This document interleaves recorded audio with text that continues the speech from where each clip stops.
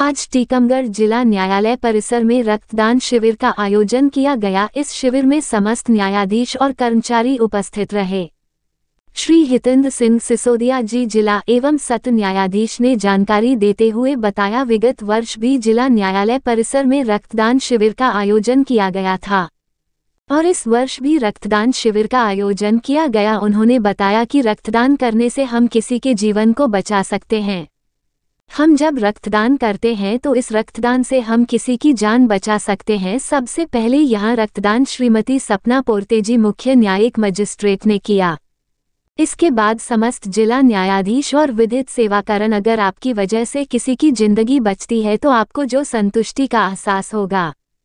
उसे शब्दों में बयां करना मुमकिन नहीं है। हम सभी को मिलकर आगे आना और रक्तदान के प्रति आमजन के मन में व्याप्त गलत भावना को उखाड़ फेंकना है।